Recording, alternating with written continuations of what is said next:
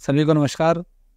आज की वीडियो उन लोगों के लिए बहुत ज़्यादा इम्पोर्टेंट है, जो बिहार में रहते हैं, बिहार से बिलोंग करते हैं, या बिहार के बारे में जानना चाहते हैं।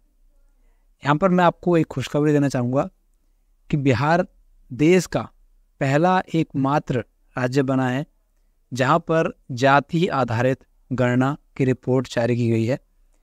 इसका मतलब यह है कि बिहार में जाति के हिसाब से कितने लोग रहते हैं, कितने मुस्लिम हैं, कितने एस से हैं, कितने जनरल कैटेगरी से हैं, ये रिपोर्ट जारी कर दी गई है। और रिपोर्ट देखिए, इस तरीके की रिपोर्ट है। हालाँकि इसका जो लिंक है डाउनलोड करने का, वो मैं आपको डिस्क्रिप्शन बॉक्स में दे दूँगा, जहाँ से आप इसको डाउनलोड भी कर सकते हैं। ठीक है? इस रिपोर्ट के हिसाब से बिहार की कुल जनसंख्या है लगभग तेरह करोड़ सात लाख, जिसमें से सबसे ज़्यादा जो हिस्सा है, वो है अत्यंत पिछड़ा वर्ग का, जो कि कुल आबादी का लगभग 36 परसेंट है, जो कि करीब चार करोड़ लोग होते हैं। अगर मैं बात करूँ सबसे कम परसेंटेज की तो वो है अनुसूचित जनजाति का, जो कि करीब एक परसेंट है, यानी कि 21 लाख लोग अनुसूचित जनजाति से बिलोंग करते हैं। इसके अलावा दोस्तों, अगर आपको डिटेल में कि भाई किस जाति के कितने लोग यहाँ पर हैं तो इसके लिए आपको दूसरी रिपोर्ट यहाँ पर देखनी पड़ेगी। इस रिपोर्ट का लिंक भी मैं आपको वीडियो के डिस्क्रिप्शन बॉक्स में दे दूँगा।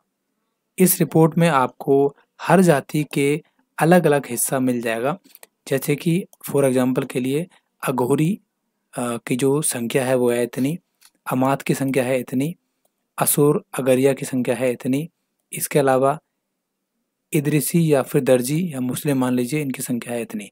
तो हर जाति के हिसाब से आपको अगर डिटेल में जानना है कि भाई किसके, कितने जनसंख्या है, कितने लोग हैं तो यहाँ पर आप इस पीडीएफ में देख सकते हो। दोनों ही पीडीएफ का लिंक आपको वीडियो के डिस्क्रिप्शन बॉक्स में मिल जाएगा। ठीक है?